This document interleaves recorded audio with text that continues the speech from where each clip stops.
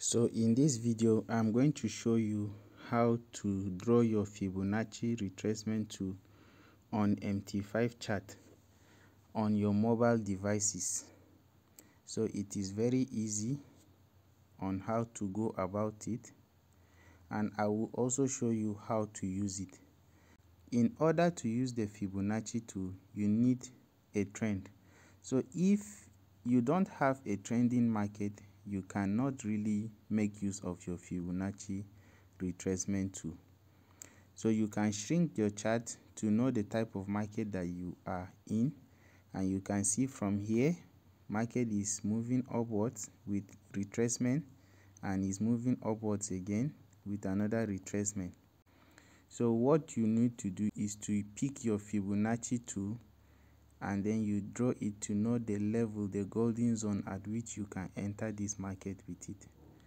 So you tap on your screen i'm going to tap to bring out this option tool so what you do now is to click on this particular one that you are seeing over here with triangles with cycle and a rectangle on it. Click on it. That is it so you can go to this plus icon that you are seeing over here. So the ones you've set as your favorite you see them over here. But then even if you don't have anyone you can simply click on the plus sign. So click on the plus. Now you have other options here. So you can check for the tool that you want. Is the Fibonacci retracement tool. So I'll click on it now it has picked it and you can see that the top right hand corner over here. So I can begin my drawing from wherever you want to draw. So let's say is in an uptrend currently. So the last low here you see it has picked it up. Then you extend it to the last place where the price reached before pulling back. Now when you are done you click again it has now fixed your tool for you. So you can see how easy it is right now.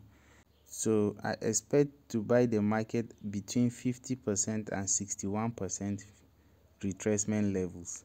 So when price reaches that level i will expect the market to start buying and i will enter at that.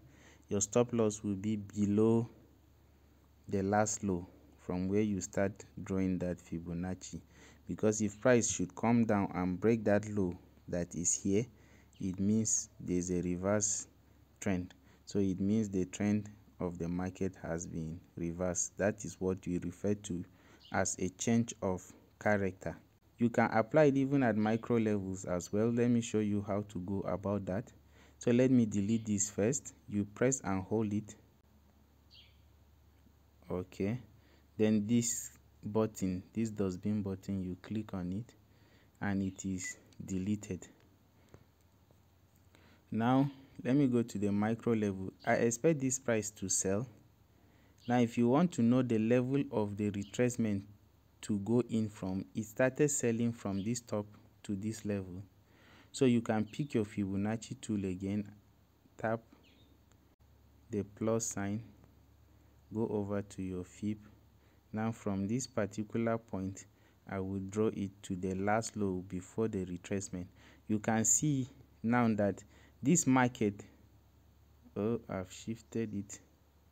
So you can see if I enlarge it you can see that the market is reversing at the 50 and 61 percent retracement levels.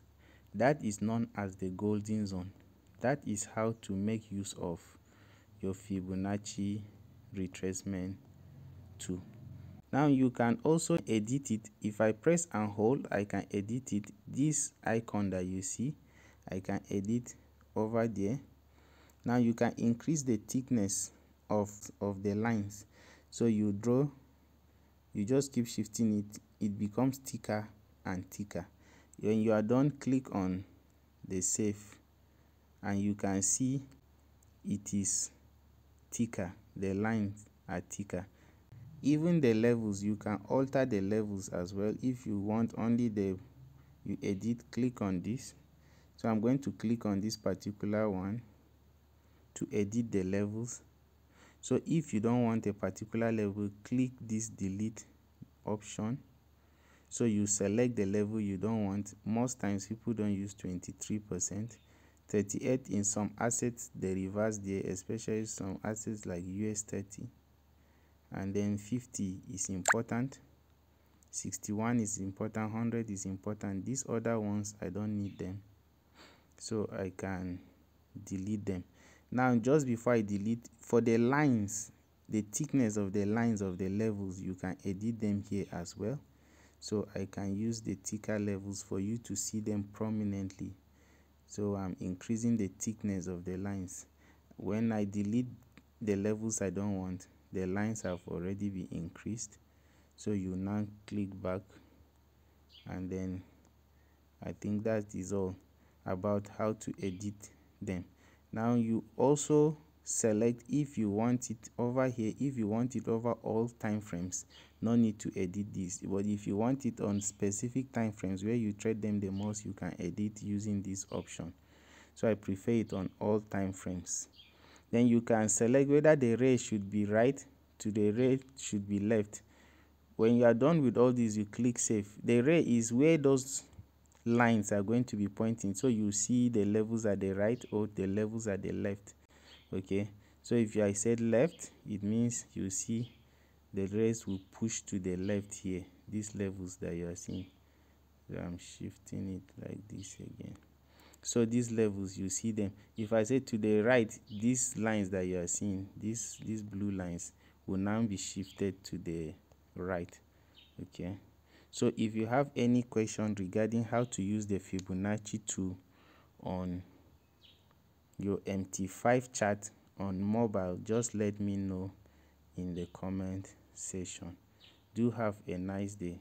Bye